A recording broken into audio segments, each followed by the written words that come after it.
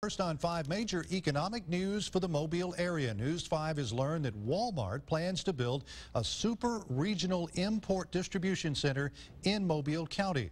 The proposed location is off Interstate 10 at McDonald Road, just north of St. Elmo in South Mobile County. And that's where News 5's Peter Albrecht joins us now with all the details. Pete?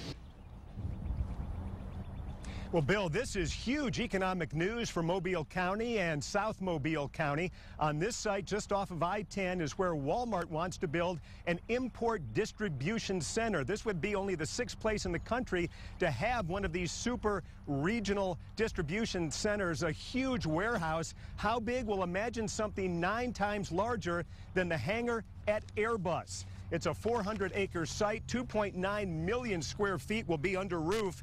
550 people will work here full time plus 200 seasonal jobs. The average salary will be about $36,000. Now, Mobile would join these locations as having one of these import centers Mira Loma, California, Baytown, Texas, that's near Houston, Elwood, Illinois, near Chicago, Williamsburg, Virginia, and Statesboro, Georgia all in common there. They're near major ports, and that plays in big time here for Mobile. This would be a huge boost for the container terminal.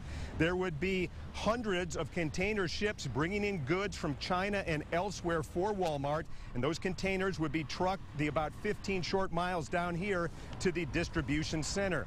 Now, taxpayers will contribute to this project. Our sources tell us that Mobile County and the city of Mobile will contribute $2.3 million each. The state of Alabama Will contribute $7 million, and there will be waivers of various permits and permitting fees.